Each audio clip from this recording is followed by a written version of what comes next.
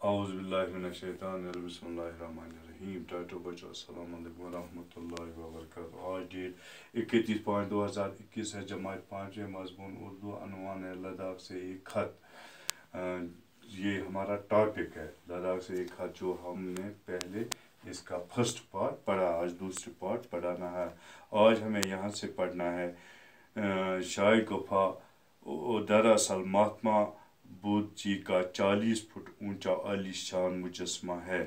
भाई युस ये महात्मा अमुक ये मुजस्मा, यानी जब बुद्ध बनत यह सी फुट, थोत, इस मुजस्मे का सर आठ फुट चौड़ा है। दपा यमुक मुजस्मा हसा बुद्ध हस फुट सर चौड़ा यानी कल खजर ये मुजस्मा पीतल और तांबे में डाला है दपा अत बनत पीतल बे तांबू इस मुजस्म पर सोने और चांदी की पत्ते मंडी है दपा अत सोन लगे बे चाँद त लगे ऊन के ताज पर हिंदू देवी देवताओं की तस्वीर खुदी है दपा सिंदस ताज पे क्या हिंदू देवी बे देवताओं तस्वीर खनित बुद्ध धर्म ने हिंदू धर्म के असरार कबूल किए दपा बुद्ध धर्म हसा कोर हिंदू धर्म तुम असरार कबूल शाही में एक मस्जिद भी है अत मस्जिद है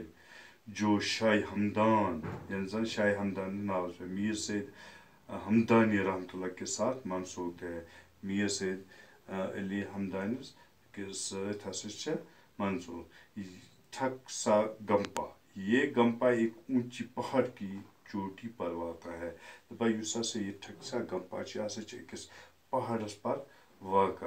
इस गंपा में दस मंदिर हैं। दपा अत दह मंदिर। यहाँ एक बड़ा हॉल है। अत अख बोड़ हॉल तो इस हॉल में लामा जप और पूजा करते हैं। अत यह इबादत करा वजीब गवा हॉल में कुछ अलमारियाँ हैं जिनमें बुद्ध धर्म का अनमोल सरमाया है।